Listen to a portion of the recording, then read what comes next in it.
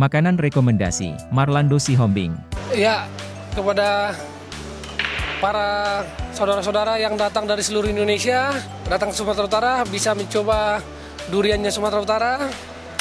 Sangat lezat, dan makanan-makanan favoritnya seperti ayam napi dadar, masakan-masakan khas Batak yang cukup menggetarkan lidah, boleh dicoba tuh.